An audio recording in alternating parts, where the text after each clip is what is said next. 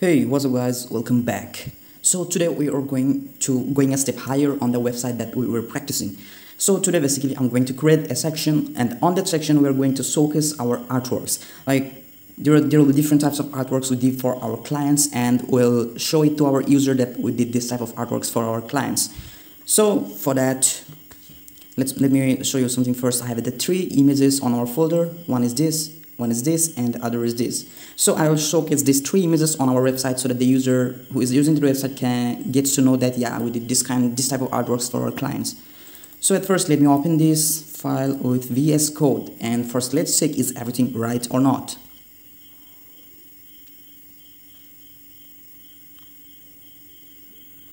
Okay this is how it looks right now. The style sheet is also i think is pretty well so let me first run this and see if everything is fine or not. Okay, this looks good. Everything is fine till now. Personalized handmade gifts. These are the sections we created on our last video. So today I'm going to add, today I'm going to add a different section where we will show our art and it will be right behind this. So for that, let me go to index.html and here we're going to create a different section. So here we're going to add a different section and on that section let me first give it a class of named works. Sorry. Works. And here we're going to use a header. And the header will be named our works. Our works will use a p tag here and here we'll write satisfied 100 plus clients with our handmade gifts for their loved ones. Satisfied 100 plus clients with with our handmade gifts to our handmade handmade gifts for their loved ones. Okay this this looks fine now let's first save this and what's it how it looks like. Okay we have got a different section here it's written our works and here it's written satisfied 100 plus clients with our handmade gifts for your loved ones. So now I have to do some styling on this section. So for that let me go to style sheet first and here we are going to write dot class name which is works and here we're going to use width of 80 percent 80% margin auto then text align center text align text align center then padding top. Sorry. Padding top equal to 50 pixel. I'll give some space so we have used padding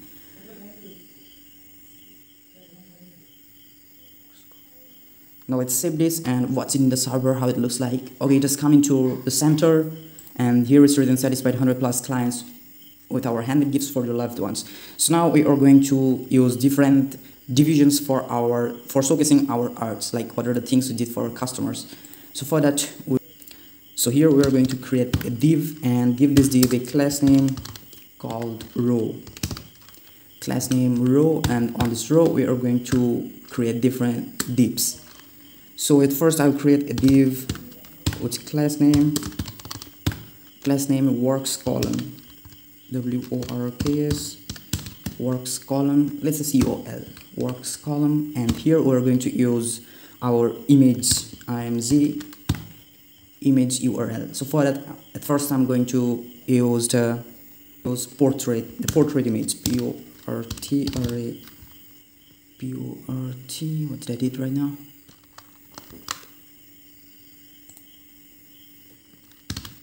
portrait.jpg the next we are going to create a different div which will be a layer. Div and give the div a class name. Class name layer. So here we are going to write a header which will describe what our art is. It will be p-o-r-t-r-a-i-t okay this is done for the first art. We are going to create two different types of artwork to show to our clients so for that let me copy this and paste it two times. One time. And two time. So the second one we are going to use is stringer so for that we will write strnzart and on the image we are going to write string. Str sorry. String dot string dot jpg and on the last one we're going to write the illustrations. Uh, I'm going to show the illustration we did for our clients. So the image will be digital D-I-Z-I-T-A-L and the name here I will write is digital illustration. D-I-Z-I-T-A-L-I-L-U-S-T-R-A-T-O-N digital illustration. So now let's save this and what's in the website how it looks like okay this is how it looks like now. Some pictures are showing and the others are not showing so for that we have to style our divisions again. So for that let's go to style sheet again and do some kind of styling. So for that we are going to use uh, works column. We're going to use this class works call WRKS works call works works call and here we're going to use flex basis flex basis of 32 percent. Then we are going to use border radius border radius 10 pixel border radius 10 pixel. Then we are going to use margin margin of 30 pixel then we're going to use position. Will be relative. Then overflow hidden. Overflow hidden. Now let's save this and watch it again? Okay this looks something odd like I have to do a lot of things again. I have to change a lot of things. So for that let's go to style sheet again and let me first copy this. And here we're going to use img because we are going to style our image this time img and here we're going to use width of 100% 100% okay let's save this now and watch it again. Okay this looks fine now. This is one picture that will show us show to the clients. This is another which will be the string art and this will be the digital illustration. So if a, if a client comes and visits our website he will first see this then he will go to this section then last he will go to this section which will display our works we did. So now let me do some more styling on these divisions. So for that go to our class layer. Let me copy this and paste it here. Put a dot. And here we're going to write background okay the mistake here. I make this its border radius. Delete this first. Border radius which will be your 10 pixel. 10 pixel okay now let's save this again and it wasn't. Okay you can see this has got curved borders here. That looks nice now. Okay now we are going to use a layer which will have a background. Background will have a color code here RGBA and the color code we're going to write 22600 and use opacity of 70% then we're going to use height. Height will be 100% then width will be 100% then position absolute. Position absolute. Then we're going to use top 0 then top 0 then left 0 left 0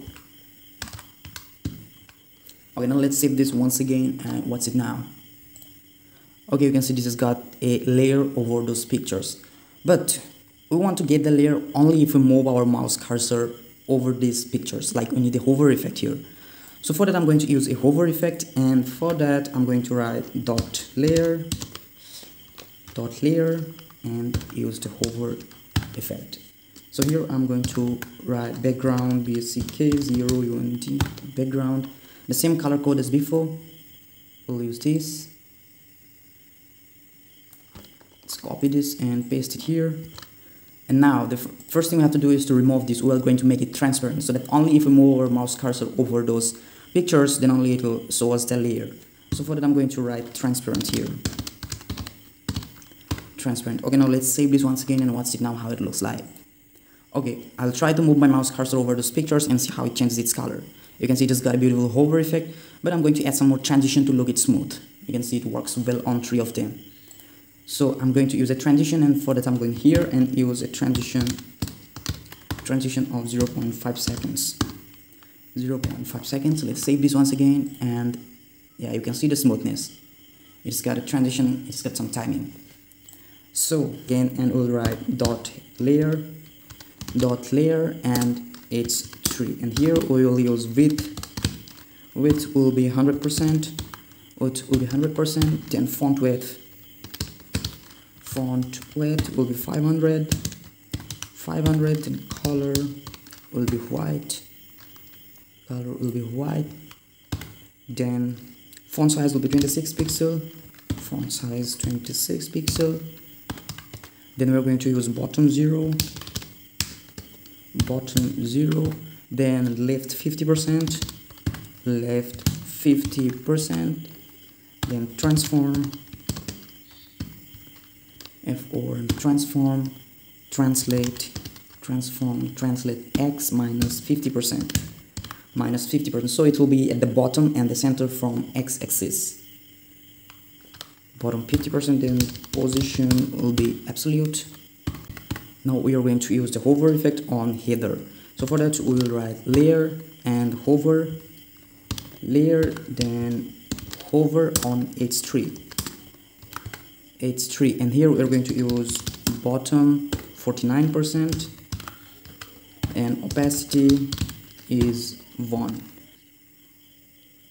and initially on layer h3 we will make the opacity 0 opacity will be 0 and later on it will turn to 1 and on layer h3 we're going to use a transition. Transition of 0.5 seconds. So now let's save this and watch it how it looks so now you can see if I move my mouse cursor over these images you can see the hover effect as well as what does it signify like what's that picture is. So I'm going to move my mouse cursor over this and you can see it's a portrait. It shows us the portrait with a hover effect. You can see this is a string art and you can see this is digital illustration which which the website illustrates it pretty well. So now you can see this side it's not it's it has not got the border radius like it's not round. So for that we are going to make it round again and for that we'll go to works call images works column images and here we're going to write display block. Display block. Now let's save this and you can see it has got this round feature. So that's how it's created. That's how different sections are created.